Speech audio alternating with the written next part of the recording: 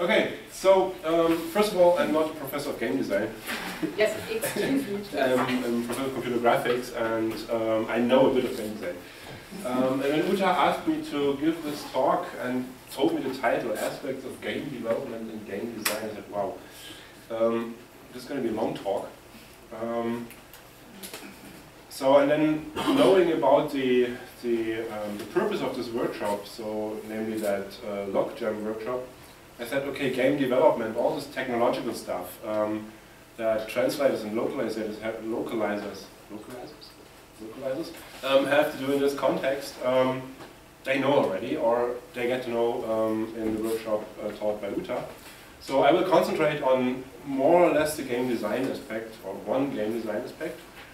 Um, so in the course of the next uh, hour or so, um, what we're going to cover is, um, first of all, we're going to try to understand what a game is. Probably everybody knows what a game is. Um, but I edited this to what a game is all about. So what is the most important part of a game? Um, and we're going to talk about the most important elements of a game. And uh, we're actually going to see that, see that um, games is all about fun. Now everybody knows what fun is. Really? Do you know what fun is? Um, well, um, I'm, I'm going to try to um, explain a bit what fun is in the context of, of games and to, uh, to explain a bit uh, different kinds of fun which are important for games. Um, not only important for the game as a whole, but also um, for the language being used in games. Um, this is going to be my, uh, my fourth and last part. Um, we're going to look at um, how language can provide fun in games. Uh, and this is basically what, what your task is going to be at the, um, in the, um, the context, uh, the contest. Um, you're going to localize a game, but uh, I'm going to try to show you that localization is more than just translating um, what, is being, what is said in the game and so on. Um, before we start, a few words about the examples I've chosen to, to use in my talk. Um, they all stem from games that I have played, I'm playing, I I will be playing, well, actually I started playing but, but stopped. Um, uh, and they might not uh, be, it might not be general consensus that what, what I'm going to show with these examples, but I think, uh, well, to, to my understanding is um, that these examples are kind of well illustrate what I'm going um, to tell you. So um, if you don't know the games, um, feel free to play them. Otherwise, um, just look them up or whatever. Um, it's not about the games, it's more about the, the content. Okay, um, let's start with uh, what is a game. And um, with the question of what is a game, I'm borrowing from two of my actually favorite books in this, uh, in this area. First one is uh, by Jane McGonigal. No, her name is not Minerva. Um, and there's an I in her name. Um, so uh, the first book is by Jane McGonigal, Reality is Broken. Um, I think everybody who uh, does something with games should, should read this book. It's really great.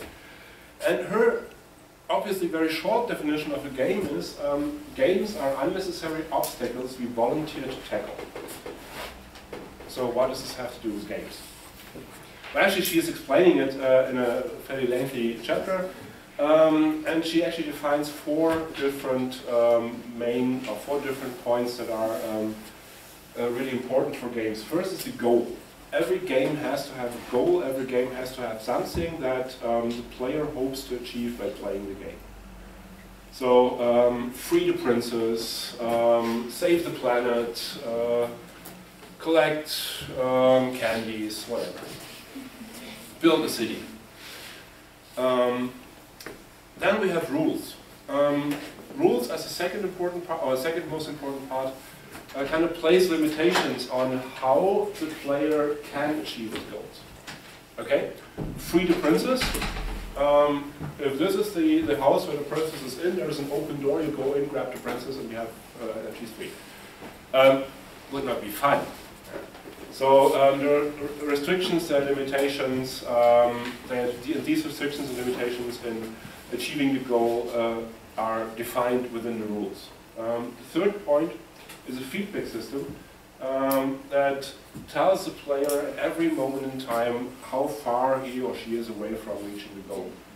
Um, so the player is always uh, always has knowledge of um, what is he doing right now, what is the state of the game world, whatever, um, and how far is he away, he away from freeing the princess. Um, and the fourth and um, probably most interesting part in um, this definition is voluntary participation. Um, voluntary participation means that um, everyone who's playing a game does not have to play game. Um, he, he, or she does it voluntarily. Um, he, voluntary, he or she voluntarily accepts the rules, accepts um, the goals, and accepts the, the feedback. And only if this is the case, then there's, there's fun in playing the game. So, um, it has nothing to do with video games, it has nothing to do with computers at all, um, but it's probably a very interesting uh, definition of game. And the second one, which is closer to video games, stems from um, Ralph Koster, who um, wrote a book named called A Theory of Fun for Game Design. Um, well, kind of contradictory, theory and fun, but um, you will see it works. Um, and he defines explicitly, he explicitly defines a video game as an interactive experience um, that provides the player with an increasingly challenging sequence of patterns which he or she learns and eventually masters. So um, there are a few key terms in this uh, definition. Um, first one is interaction. Every game is an interaction between player and game or players. Uh, imagine a, car a card game where you don't have a uh, like a computer to play with, um, then you interact with your co-players and you interact with cards. But anyway, interaction is, is pretty important for um, for any game. Um, the second thing that's, that's really important is challenge. Um, games only work if players are challenged to, to reach a goal, uh, if players are challenged to, to do something, and if players can overcome challenges, this uh, brings us back to uh, Jane McGonigal's definition, yeah? um, unnecessary burdens, burdens, uh, obstacles, okay? Um, yeah, an, obstacle is challenge. Um, and the third point, and this is, in this uh, definition, the most important one, um, is learning and mastering. And um, Ralph Koster himself says in, said in one of his talks, Learning and mastering are at the heart of what we call fun. Now, there are mostly students here. Learning and fun. Um, there's no, you all blank faces. Learning and fun, blank faces. Nobody, nobody agreed that learning is fun, but well, you do agree, of course.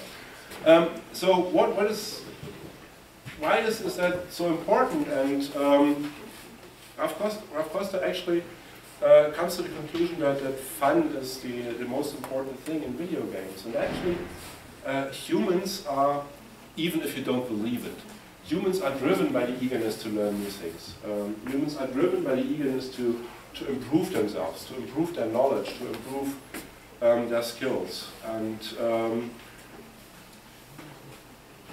learning, improving does not actually mean that you have to learn like quantum physics or relativity theory, uh, or you have to learn a completely new language. Um, learning is um, every single new thing that you encounter during the day. Um, if you get something new, you learn something. And actually there's a biochemical reaction um, uh, appearing in your body. There is um, uh, dopamine is, is or the, the, release of dopamine is increased, and dopamine is the uh, one of the hormones who is um, actually known to um, make feel well, um, basically. Um, and actually, that is uh, this sentence: "Fun is a neurochemical reward uh, to encourage us, encourage us to keep trying." Um, and what actually happens is you end up in a spiral. Um, you learn something, you you get something new. Um, dopamine is released. you have you have fun, um, you start to, okay, this, is, this was a good thing, I want to have more of this. Um, and so you try to, to learn more, um, get more, uh, improve more, and so on. Um, and so fun is basically the emotional response for learning, and um, to bring it to one simple sentence, fun is just another word for learning. So, um, all your students here, fun is just another word for learning. Um, even if it is relativity theory, quantum physics, or um, computer science, or mathematics. Fun is just another word for learning. Um, and in games, fun arises out of mastery. So you, you do your tasks. You uh, at some point in time you know how to uh, to solve that problem. Um, you learned how to solve the problem. You're feeling well. Um, you're trying again, and you're doing it better, and so on. So it, arises out of mastery, out of comprehension, um, and uh, with games. So course, the learning is the drug, and actually dopamine. Um, if we're talking about dopamine, dopamine has a lot of do with, uh, with drugs and um, the uh, with perception of, of drugs. So, um, fun, is, is, it's all about fun. And yes, games is all about fun. Um, nobody would voluntarily engages in activities that are not fun. Would you? Uh, well, you would if I would pay your money. Um, but but this, is, this is a different story. Um, fun is um, intrinsic motivation. Uh, fun um, comes from, from inside of your body, from inside of your mind. Um, and you yourself are motivated to do something. Well, I could motivate, motivate you externally, so-called uh, extrinsic motivation. I could, I could pay your money for, for doing some stupid things. Um, you would do it but not because it's fun, but just because uh, you get the money. So extrinsic motivation, that's a totally different um, different topic here, and I'm not going to um, go into detail here, but nobody would play a game that isn't fun. Um, and I can be sure that this is, this is true. Um, so I'm not going to ask you the question, what is fun? Because um, we have like 30, 40 people in this room here um, if I would ask everybody uh, what is fun, then you would get like 30, 40 answers. Um, actually, um, there is no general consensus of what is fun, but in the context of game design, in context of, yeah, in context of games, there are a few, well, general um, things that are required, uh, not required, uh, regarded as fun. And actually, Marc Leblanc, one of the uh, uh one kind of well-known game designer, um, came up with a taxonomy of so-called game pleasures. He came up with, with eight terms, um, sensation, fantasy, narrative, challenge, fellowship, um, discovery, expression, and submission, um, which are, in his uh, point of view, the most important so-called game pleasures. Um, and we're going to go through all of these uh, eight uh, game pleasures now. Um, more or less away from languages, but also with a kind of a point of view on, on language. Um, and you will see uh, what they mean and why they are fun. Okay, number one, sensation. Sensation, um, graphics. Pretty cool. Um, if you have, an, uh, have, a video game and you have stunning graphics, um, you could possibly play that game just because of the graphics. Yeah. Music, the same.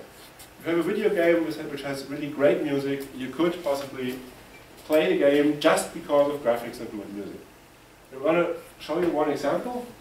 Um,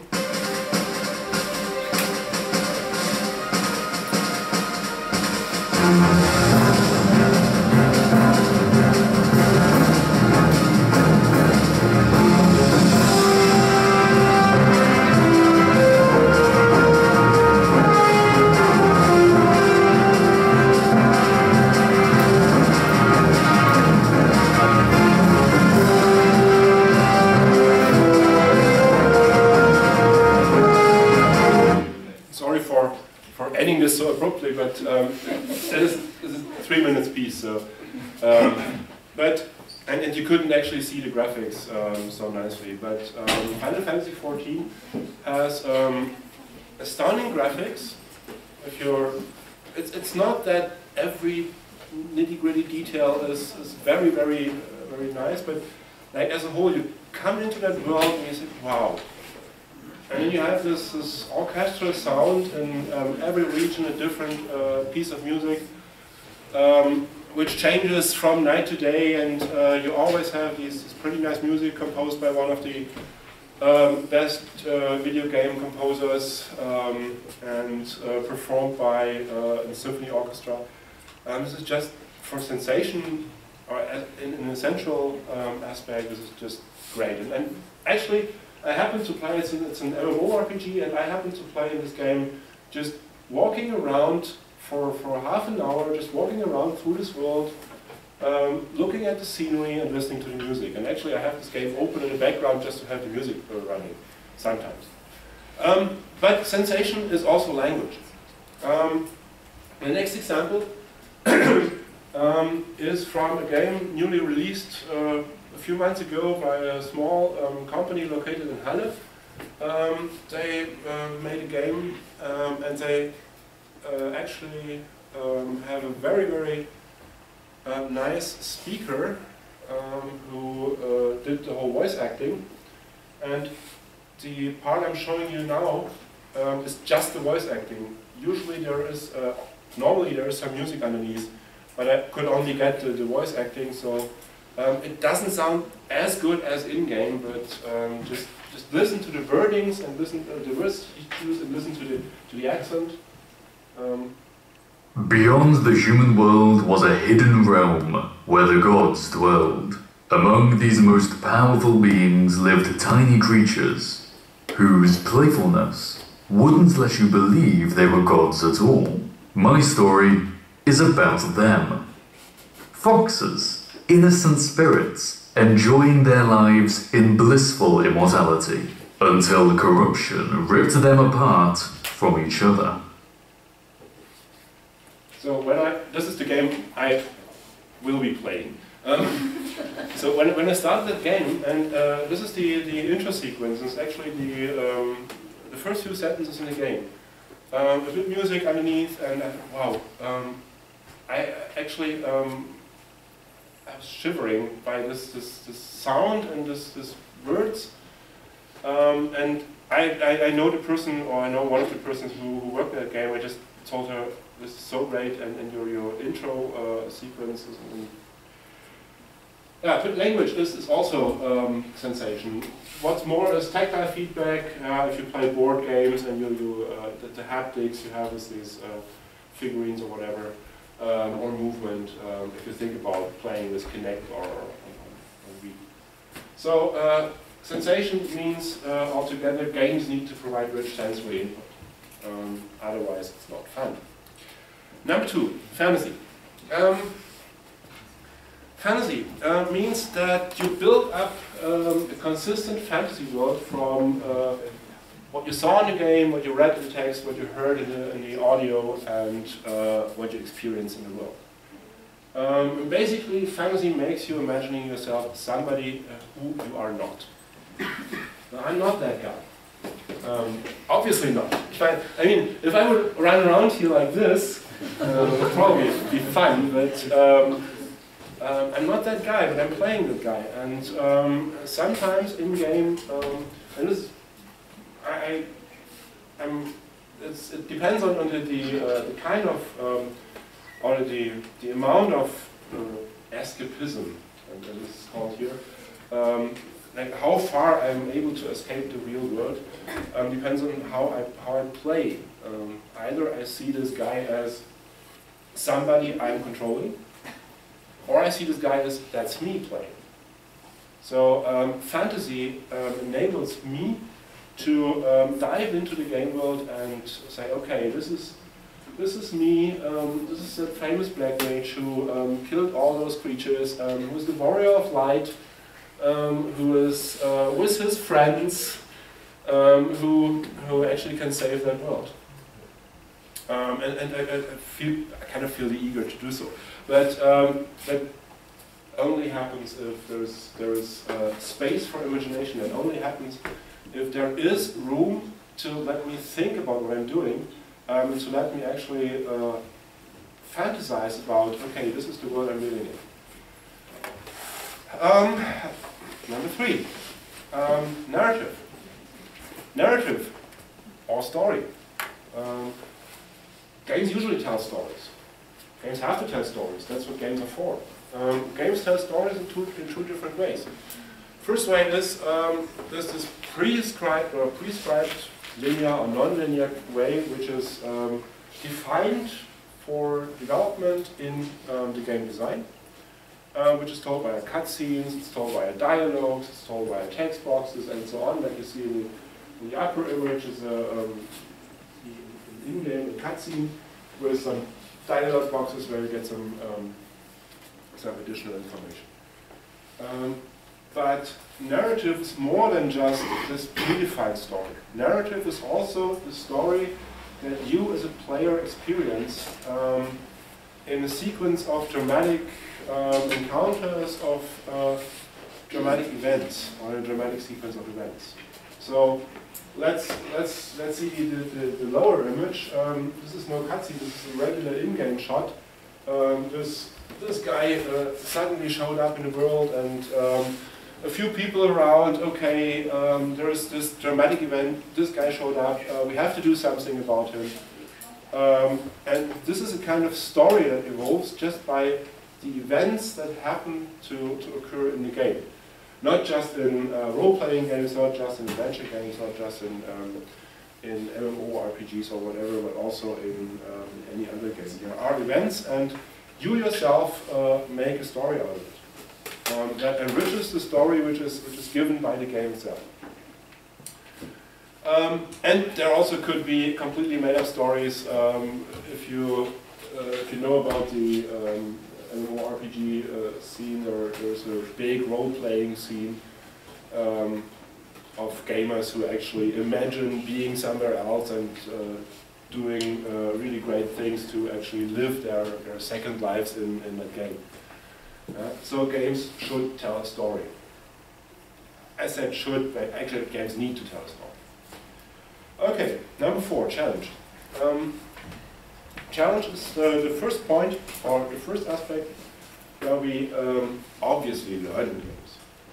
Um, and actually the core of every game is a problem to be solved. So save the princess, um, uh, yeah, re rescue the princess, um, save the planet, uh, whatever. Uh, connect the candies. Um, um, so every problem, and uh, my students know that I uh, usually say there, are no problems, there are only challenges. Um, every problem actually is a challenge. Um, a problem is, is, the negative word for challenge. Um, you have a challenge that you're going to overcome, that you're going to tackle, and um, this is actually the most motivating aspect in games. This is the um, challenge, is, is, that's the game pleasure, number four. Um, it's actually the most motivating. And for uh, lots of players, this is the only and the uh, motivating um, aspect in games. They want to have challenges. They, they want to have epic fights. They want to have um, epic enemies um, whatsoever. They want to kill these enemies, fight these enemies. Um, and uh, why is it so? Well, mastering a challenge leads to positive emotion. Everybody knows, um, students for example, mastering a challenge, yeah? passing an exam, um, is mastering a challenge. Passing an exam for the second time is remastering it. No. Um, passing an exam is mastering a challenge, and you're feeling good afterwards. You're feeling great afterwards. You could dance, actually. Um, this is a lot of positive emotion that comes out of mastering a challenge, um, but only um, if that challenge was A, challenging enough, and B, not too challenging. So the level of the challenge has, kind of has to match your, your level of experience, your level of, um, your level of knowledge and skill. So um, if you would have to write an exam uh, about quantum mechanics, if I stick with this example from the beginning, um, that challenge would be too high, and you would probably fail the exam.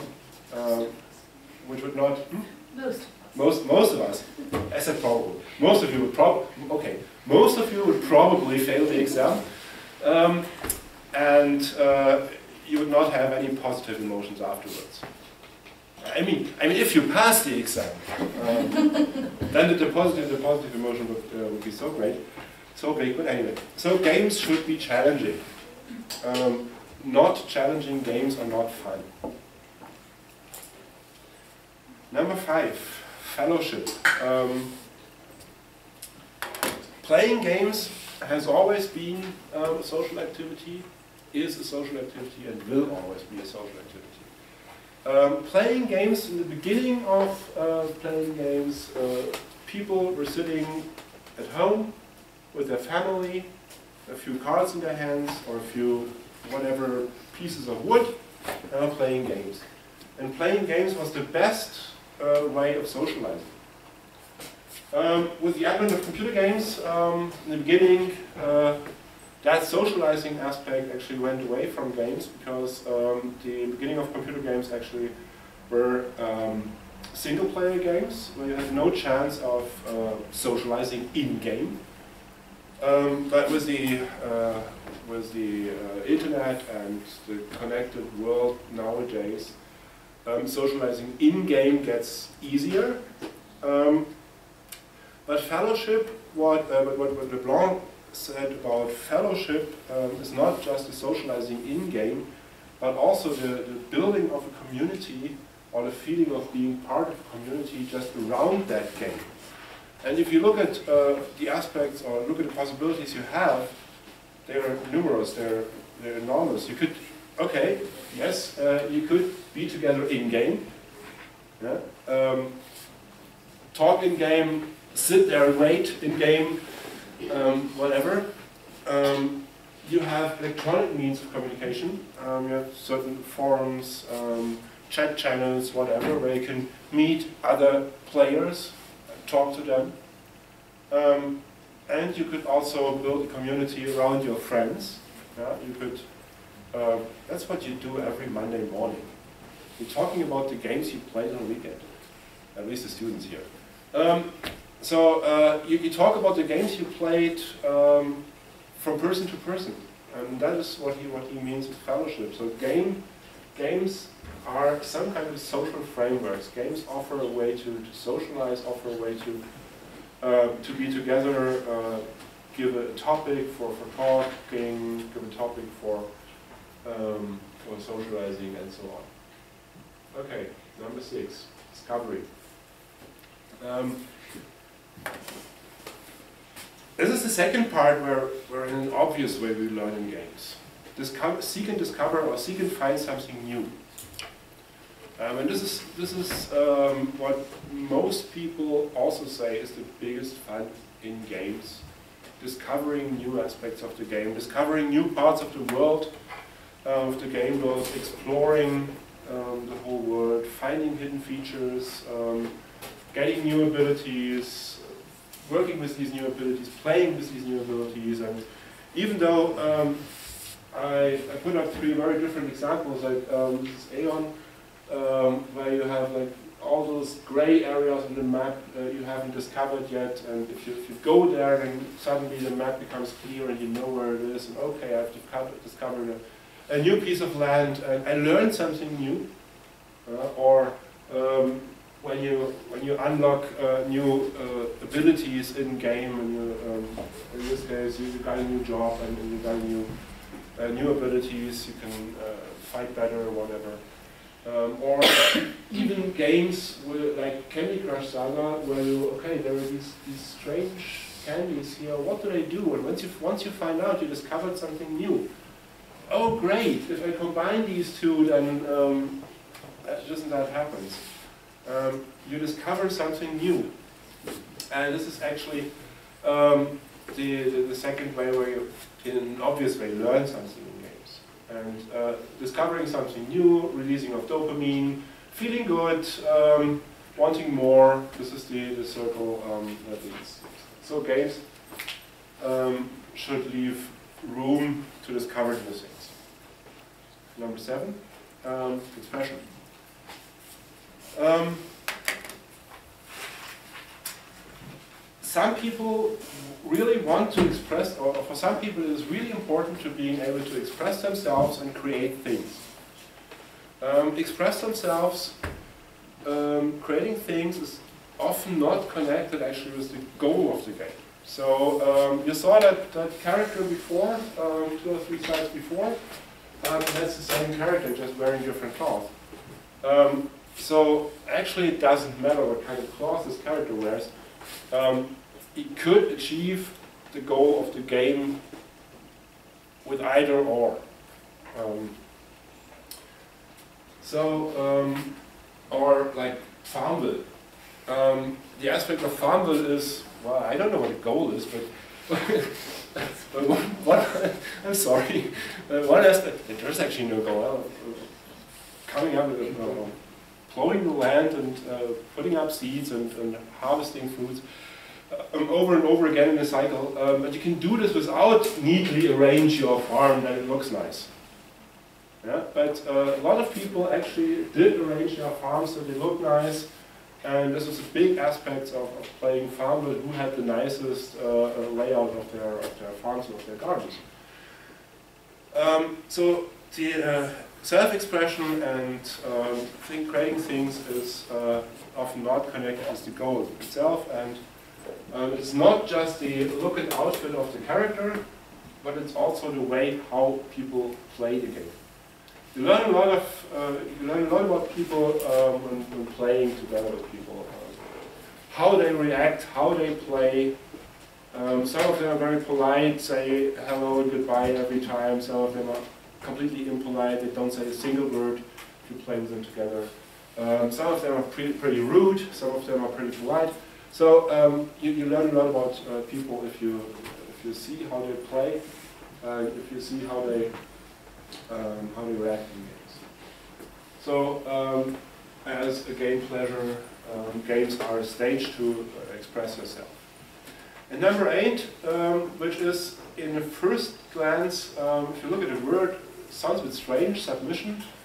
Um, submission means that you actually leave the real world behind. You leave the real world behind and enter into a well, set of rules and, and meaning that is probably more enjoyable. And you probably like better than um, being at university or being at home and uh, um, helping your mother clean the kitchen or um, well well it is probably more enjoyable having mother clean the kitchen than being in university but um, yeah, submission means that um, just you leave your real world, you, sub, you suspend your disbelief in saying, okay, magic? No, magic is not real. Well, I don't care. I'm living in that, in that game world, or I'm, I'm, I'm feeling in that game world where magic happens. And I know that magic happens, and, and with, with, uh, with the magic cap capabilities I have, um, I can, whatever, I can um, damage people, I can um, heal people, I can, um, I can do whatever I want because I can do magic.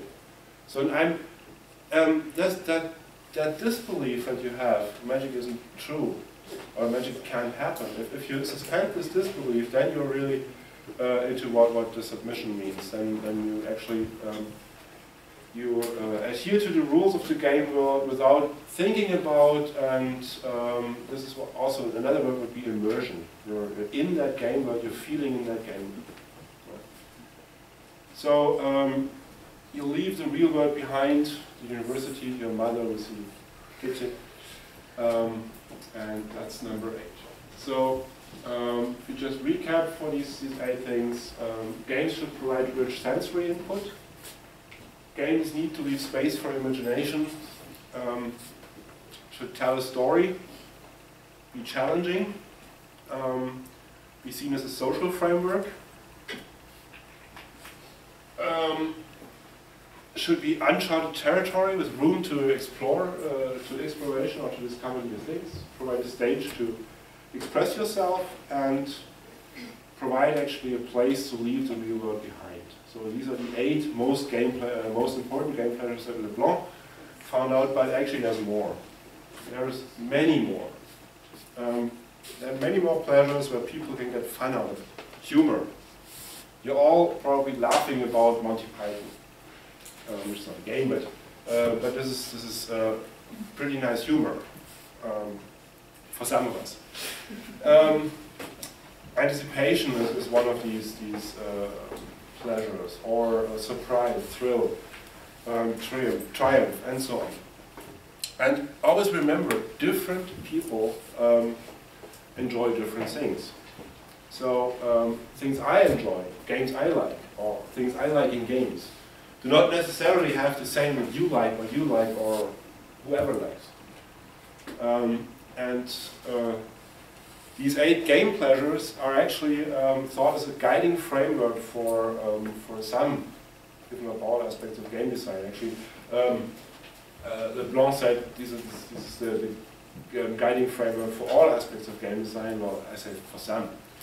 Um, so if you're looking at these game pleasures and figuring out, okay, I want to meet this, uh, I want to make a game which is sensory rich, sensory rich, and then I know that uh, at least a big amount of people will like the game because they like the good graphics and they like good music.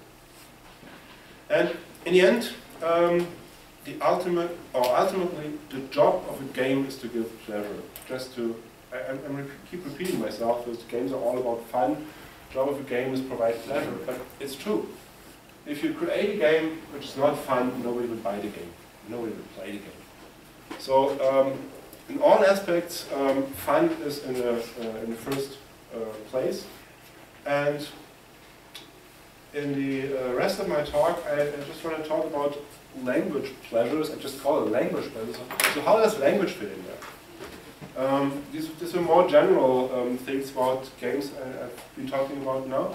But how does language fit in there? Um, actually, um, with language, humans have one of the most powerful tools to provide pleasure and fun. Um, language is the, one of the most powerful communication tools, if not that communication tool. Um, and uh, you have so many possibilities with language to, um, to provide pleasure and fun. Um, you have written language. We're going to see an example here. You have spoken language. We, we, heard one in, the beginning. You have this, this conflict or this, this uh, distinction between foreign languages and native language.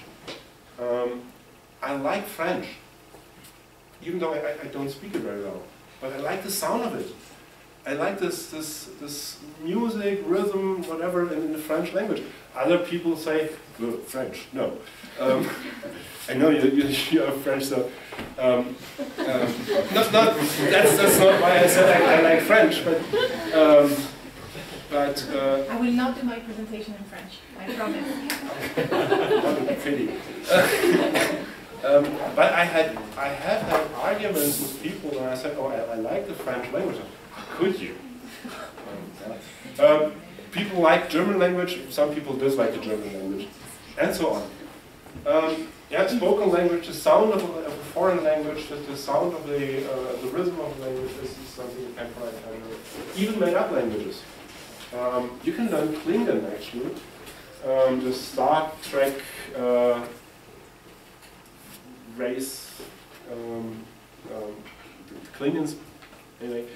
Um, there, there is a dictionary, there is a grammar, uh, you can actually take courses in Klingon. Um, you can you can you can learn Esperanto, which is a completely made up made up language. They are fun. Um, J.R.R. Tolkien actually um, actually um, built a language like the, for the, the Alps, um, Alps, Alps, Alps, Alps, okay. Um, in, in Lord of the Rings, I always keep mixing those two up. Um, in Lord of the Rings, actually, he created a language for them uh, with a grammar, with, with a vocabulary, with everything. Cool. So um, in the next few slides, I'm going to give you a few examples of what you can do with languages in, game, in games and what is important, in my point of view. I'm not a language person, um, but, but you are the language people, so. Um, number one, um, language as sensory pleasure. There is the obvious. Always use correct language. Use correct spelling, use correct grammar, um, and so on. Uh, nothing is worse than reading a sentence which is not correct. And even though my examples, there might be some non-correct, not, not correct sentences, I didn't write them. Um, I took them out of, out of game. So um, one example uh, you've, you've seen in the beginning, um, I just written down the, the text once again. Uh, beyond the human world was a hidden realm where the gods dwelled. Um, how often did you hear the word dwell in English text? It's, it's pretty rare. Yeah? Um, playfulness, um, innocent spirits enjoying their lives in blissful. Um, this is just nice language. Right? Or another example, um, once again from Final Fantasy, and once again a video.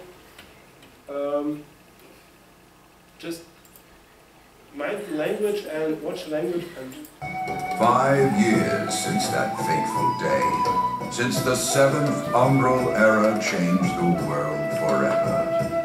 The time has come for the heroes to return.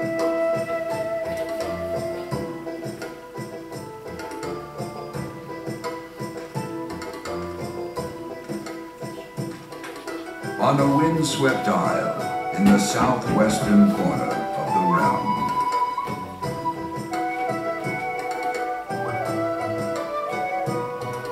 Amidst the roiling waves of the Rhotano Sea lies the maritime city-state of Limsa Lominsa.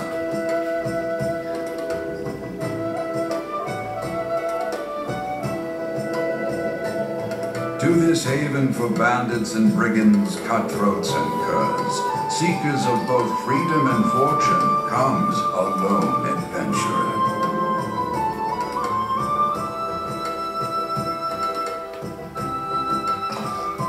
Lone yet not alone, for the hero's arrival has drawn the gaze of the nation's patron deity, Llymlaen.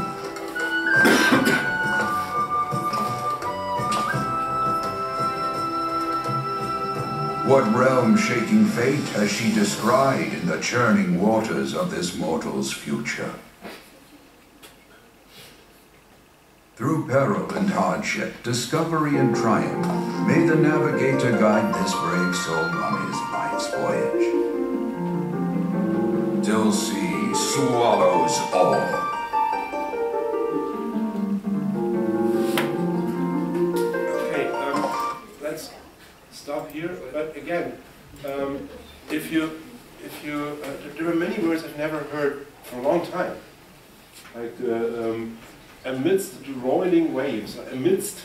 Um, um, people have tried to, to make this language sound nice, to make, make very a, nice, interesting um, um, sound, interesting language.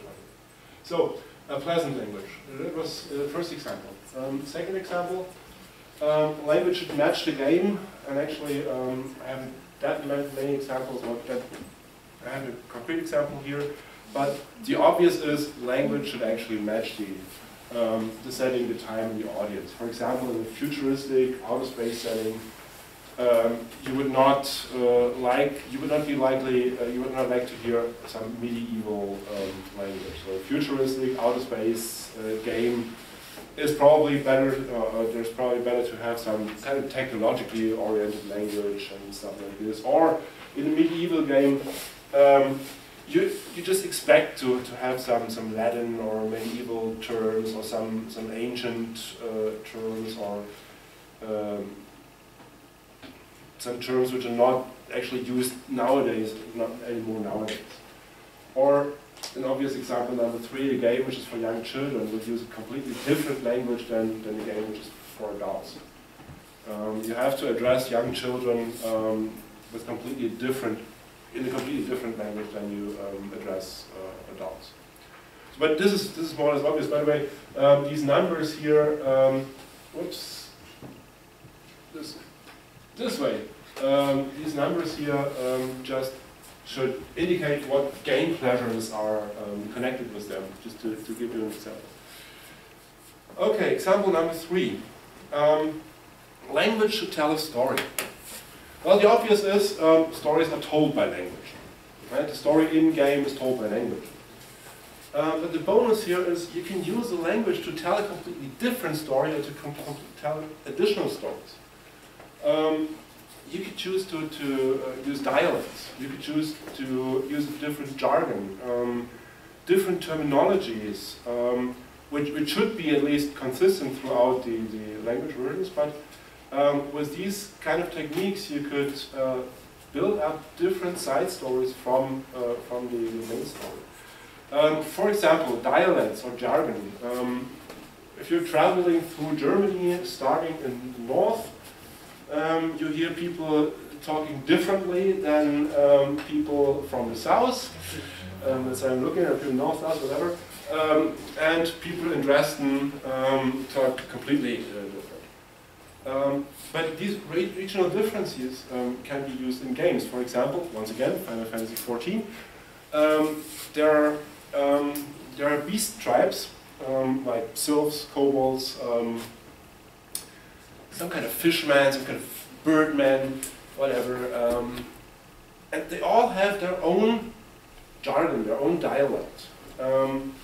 And I tried to uh, look it up through the various um, language versions, um, if this is the way, or if it's the same in the various language versions. And I came up with actually my favorite sentence in that in that game. It's the uh, the most. Uh, I was I was so laughing uh, uh, when I saw this. Um, the, the, context is you have a, a quest to, to um, fulfill where you have to free one of these sylphs um, from a carnivorous plant. So there's almost eaten by a carnivorous plant, you have to destroy the plant and um, free that, that small um, animal-like creature.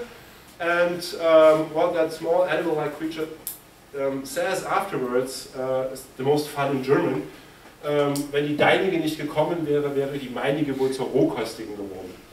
Um, the fun thing is, the way um, the uh, game designers uh, let those uh, sylphs speak is die deinige, die meinige, die abenteurige, der, der uh, rohkostige, der laufende, um, der, der singende, der tollpatschige.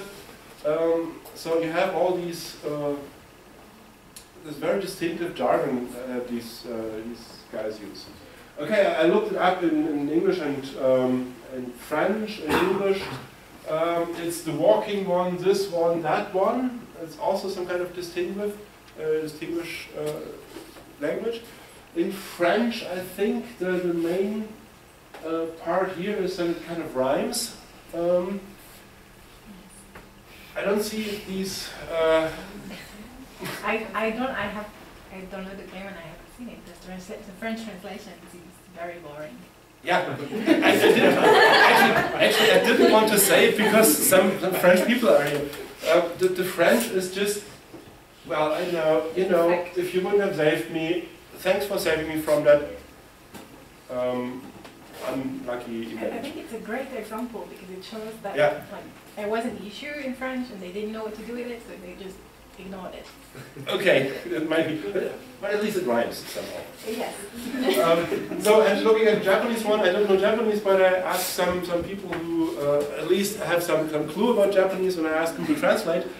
Um, and actually the Japanese version is also kind of funny, but first of all, um, there are some particles who actually uh, indicate that this is uh, not, not spoken language, there's some, some particles that are, to give you um, a hint that this is special, uh, yeah, special way of speaking, like die deinige, um, and there is something about land vegetables in there. So, um, so it's probably uh, also, um, yeah, but uh, the point is not that this dialogue is funny, but the point is that um, with these distinctive um, ways of speaking, um, you create a story around these these beast tribes, around these these uh, uh, enemies, uh, animals, creatures, whatever, they have their own life, they have their own language, and um, they all talk like, like this and, and, so on. And you, you kind of, again, room for imagination. Um, you imagine them um, being a local group of people um, belonging together and whatever. So, example number four, um, discover a new language. Um, this is a fun one. Um, the obvious is you might encounter languages in game in games you've never heard of. Yeah? Made up languages. These can be uh, written, spoken, uh, whatever. And the bonus is use these languages. Create them in, in some kind of way that, that they actually make sense. Uh, might be written, might be spoken, um, might be uh, might be everything. Um, what what they did is um, it's, it's pretty hard to see, but um, the written alphabet of the Eorzean language is basically English with some uh, some strange lettering. Um, some letters are uh, mirrored, some letters are kind of different. But this this says Revenant's Fall. Um, and if you know what it means, you can read it. Um, this says uh, Central Highlands. Um, if you know what it means, you can actually read it. But it's a made-up language. It's a made-up written language, basically. You can understand it, and it's it's it's great. You, you discover, whoa, this is a language. I can read it, and fun, positive emotions. Yeah. Um, and you can even go uh, this far that you build up uh, a grammar and lettering for this language. And actually, the, um, the head localization um, officer of Final Fantasy XIV, Michael Fox, um, he uh, tells a lot about his job, and he tells a lot about what they actually do to make Final Fantasy XIV such a great experience. And he, um, he actually explained once that um, these sylphs I've been talking about uh, the slide before, like uh, die Deinige, die Meinige, uh, um, they have a certain way of being named. Um, all other beast tribes also have a certain way of, of uh, being named. And one of the beast tribes, the Ixali, this is, um, these bird people, um, he actually defined how they are named. And he said, okay, they have a first name and a clan name or a family name. The first name um, has two factors. The first factor is uh, gender, and the second factor is the direction of the wind, uh, the direction uh, in which the wind was blowing at the time of birth. So then, um, for, for male uh, individuals, uh, you have these, uh, these suffixes um, that define the, the, wind direction. For female individuals, you have these. And then you have uh, one letter which is added to the, to the name uh, which is uh, given by the family. And you come up with, with names like Sutali Huelok. So Sutali, right? Utali, uh, where is it? Uh. Well, there was, north wind was blowing um, at the time of her birth. And S is uh, given by her family, and that's the, the clan. So, and, and so to make this game really consistent, to make the world consistent, he actually came up with his grammar rules, he came up with syntactic rules, he came up with, with stuff to, to actually define kind of a new language. Um, and once you discover this, um, again, you learn something, you got uh, positive emotions out of it, and um, you had fun. Um, and vielleicht, uh, vielleicht, and probably the last example um, uh, happens once in a while.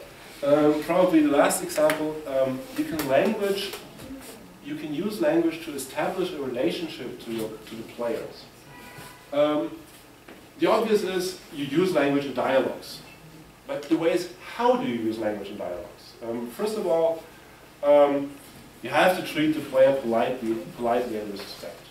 Um, you don't say, hey, what are you doing? You, I'm not going to on this sentence any further. But um, For example, es tut mir leid, dich nach dem harten Kampf gleich wieder mit einer Bitte zu überfallen. Okay, you, you, you respect that he actually needs rest, or she, but okay, I have another, I have a matter that needs to be solved, please help me. So it's respectful, politely, um, it's um, bonus number two, and this is, this is really great. Um, remind the player of recent victories and lots of fails. Um, so, I mean, sometimes it's actually going on my nerves how often I, I was told in, in Final Fantasy that I am the warrior of light and I have whatever. Um, but on the other hand, um, once in a while, knowing that, wow, actually, yes, yes, you did that. You did that. You are great. Um, that keeps the motivation, um, keeps uh, keeps the will to play the game. And actually, we should uh, um, we should include that in, in our um, teaching.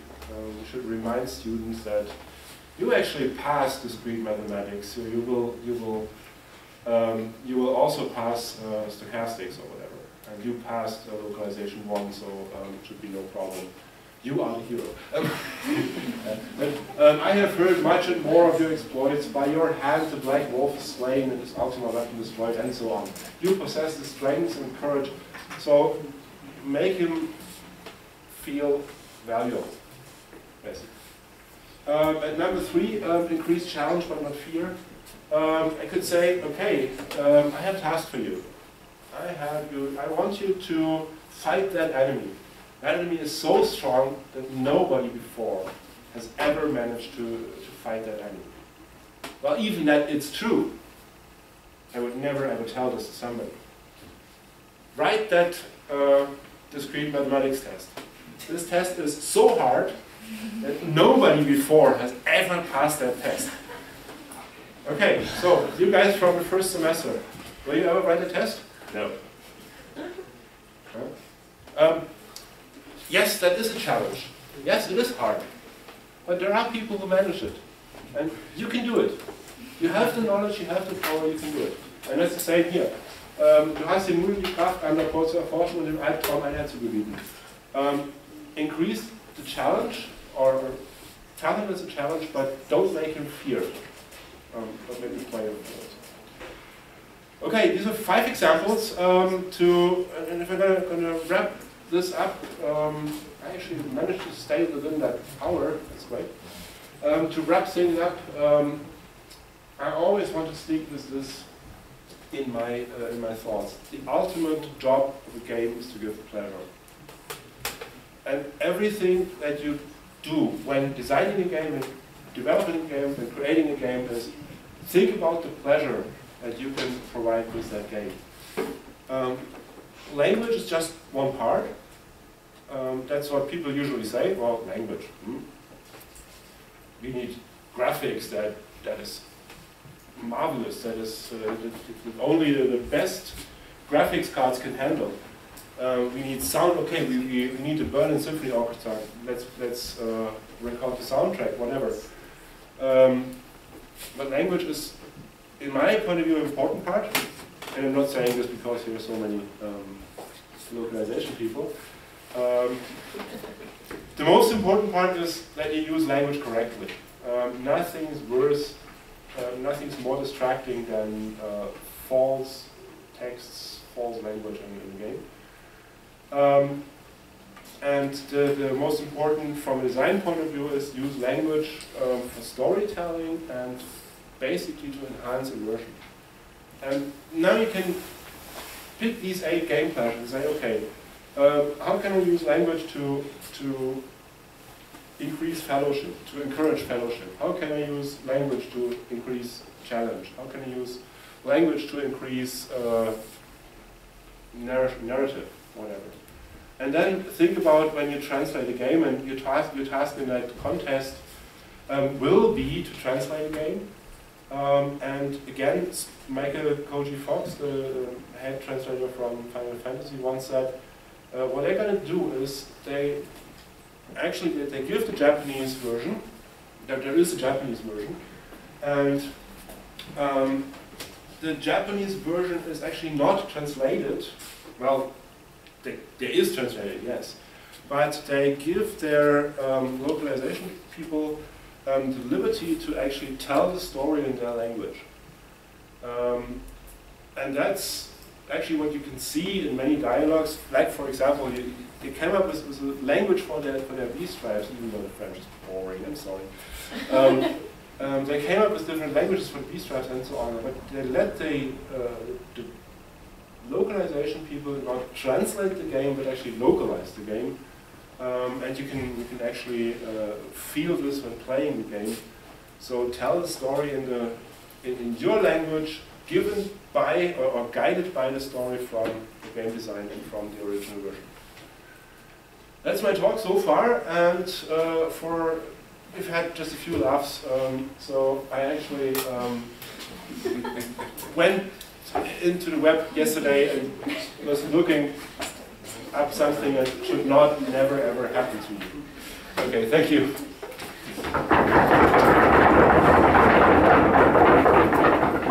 Thank you very much, Stefan, for your Questions? talk. Because um, I think you emphasized already on two, for me especially, two aspects, fun and language. And linguistically, uh, a game is something completely different compared to technical documentation, for example. And um, yes, uh, a translation mustn't be boring and has to be very creative. And therefore, in localizing a game, transcreation sometimes is uh, um, needed instead of pure translation. And I think we saw uh, some very interesting examples. So thank you very much. I don't know whether there are questions. Please um, answer them here. Oh, if you answer the questions, great. Uh, answer them here, excuse me. And uh, if not, we have um, the opportunity to talk to each other in uh, small rounds and we have a small break before we continue our program. So far, thank you very much. Stefan. Thank you.